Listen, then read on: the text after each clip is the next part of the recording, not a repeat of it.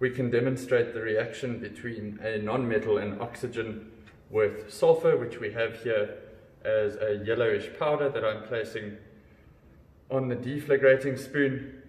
And then what I'm going to do is I'm going to ignite the sulfur over the Bunsen burner and then place it in the gas jar which contains pure oxygen to allow a reaction between sulfur and oxygen.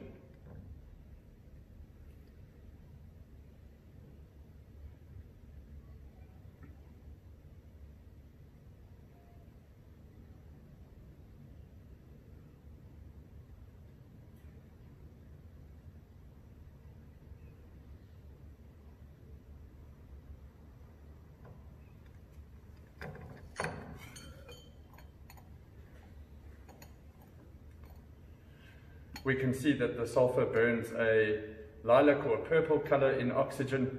We know that when a non-metal combines with oxygen, it forms a non-metal oxide, which we can see here in the form of the white smoke.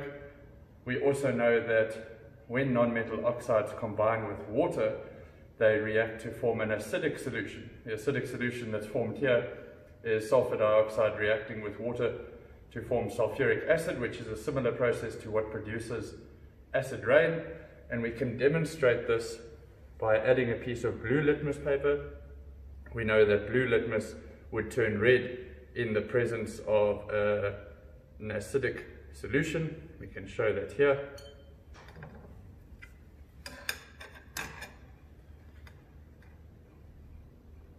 And we can see that that blue litmus turns red almost immediately, showing that a non-metal oxide when combined with water forms an acidic solution.